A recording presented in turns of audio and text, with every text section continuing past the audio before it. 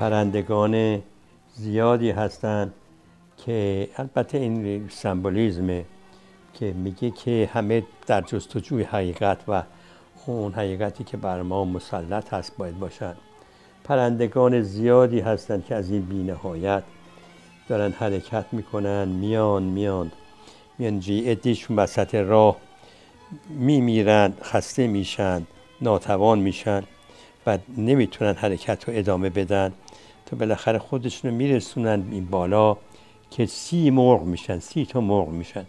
که این سی تا مرغ در عین حال این سر این سر سی مرغه و بعد این یه بالشه اون یکی دیگه این طرف بال دیگه شه و این دومش میشه به اصطلاح که مرغا تشکیل یه سی مرغ میدن.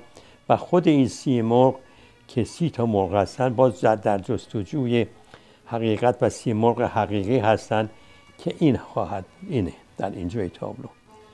و این هدهده که هدایت می‌کنه تمام این مرغ رو به سوی حقیقت و به سوی کمال و به, که در قاف در قاف پرزی این سی مرغ حرکت بوده و زندگی می‌کرده. و این بالش گسترده است که همه اینا رو در زیر چتر خودش گرفته است.